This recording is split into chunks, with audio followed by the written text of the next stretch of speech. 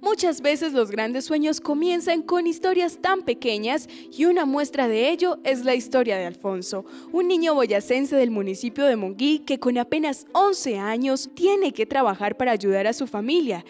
El Niño de los Mandados es la nueva producción de Carlos del Castillo que fue presentada en el Festival de Cine de Cartagena y que gracias a su video oficial, que se puede encontrar en las plataformas digitales, está siendo aclamada como una de las mejores producciones de 2017 en cuanto a historia, fotografía, creación de arte y elenco de la cinta se refiere. Esta película se encuentra en fase de postproducción y pronto estará en las carteleras de cine nacional hecho por y para colombianos.